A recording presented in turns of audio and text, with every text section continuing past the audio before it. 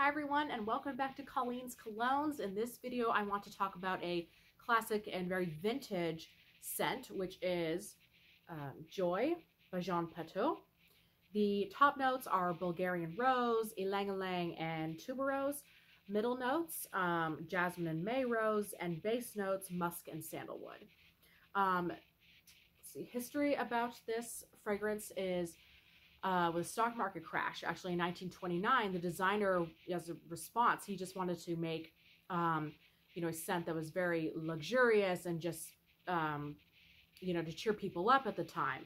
And what's, inter- what's interesting about this, this um, is an eau de parfum version, but the just straight um, parfum extrait version for a single ounce of it to be made, it requires 10,000 jasmine flowers and 28 dozen roses just to create a single ounce of the Parfum Extrait, which is why um, the straight Parfum uh, is like one of the most expensive perfumes in the world. This is not that. This is just the Eau de Parfum. But yeah, it's just crazy um, the amount of flowers it takes.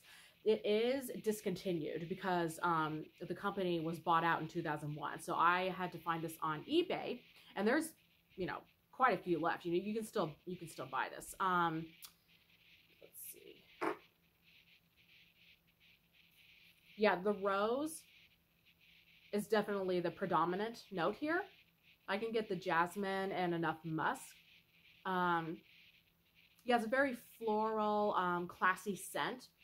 Um, I guess this was Jackie Kennedy's um, signature scent, actually, and I can I can see why. It's very very nice scent, and I like it. Um, so yes, uh, very pretty bottle.